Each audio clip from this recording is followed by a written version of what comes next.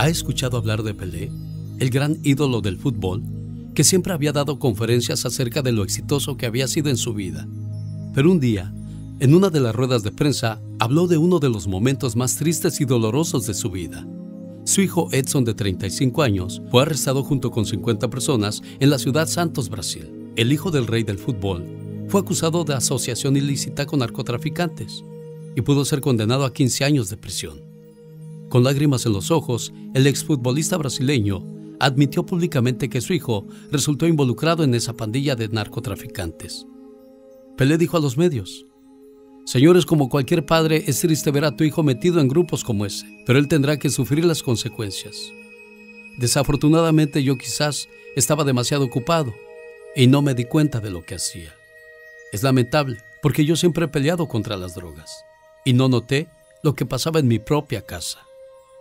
Pelé es un personaje mundial admirable, hombre honesto y deportista. Nunca perdió su humildad como otras figuras del deporte.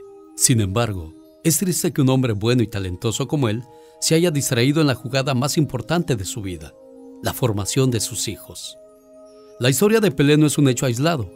Por desgracia, la vida de cientos de padres de familia están atrapados en una agenda saturada de trabajo y de compromisos fuera de la casa.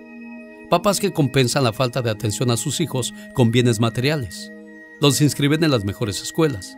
Los rodean de lujos y comodidades. Y piensan que con eso ya cumplieron con su tarea de padres. Cuando lo único que han logrado es formar niños que desconocen el hambre y tiran todo lo que no les gusta. Hijos tiranos, pequeños monstruos insoportables y prepotentes, que sufrirán y harán sufrir a sus semejantes porque desde pequeños se han salido con la suya. Muchachos que creen que sentir frío o calor es cuestión de aire acondicionado, que el cansancio que han sentido se limita a caminar unas cuantas cuadras porque no encontraron estacionamiento frente a la discoteca. Jovencitos que piensan que el trabajo de los padres es firmar cheques para que ellos tengan todo lo que se les antoja. ¿Qué posibilidades tienen nuestros hijos de convertirse en hombres y mujeres de bien si los papás les damos todo y no les educamos la voluntad? ¿Qué hijos estamos formando si con nuestra actitud les mostramos que el dinero es lo más importante en la vida? Confucio decía, educa a tus hijos con un poco de hambre y un poco de frío. ¿Cuánto bien hacen los padres a los hijos cuando ponen esa máxima tan sencilla en práctica? ¿Y cuánto daño les hacen al ponerles todo en bandeja de plata? Hay muchas realidades que como padres quisiéramos desaparecer. El sufrimiento de los hijos, el exceso de sudor, de esfuerzo y las carencias económicas. Sin embargo, quizás esas realidades no los hagan felices de momento, pero a la larga pueden forjarlos como hombres y mujeres de bien. Ojalá que más padres de familia tengan la inquietud de enterarse en qué andan sus hijos. Que no les vaya a pasar lo que apelé.